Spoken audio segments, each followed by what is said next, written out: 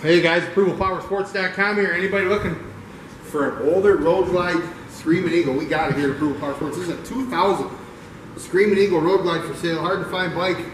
Only has 31,189 miles. It's got the upgraded floorboards, lower controls, chrome switch housings, levers, backrest, and more guys. This one runs strong, needs nothing, ready to go. That's a 2000 Road Glide Screaming Eagle. Give us a call. We'll get it done. 810 648 9500.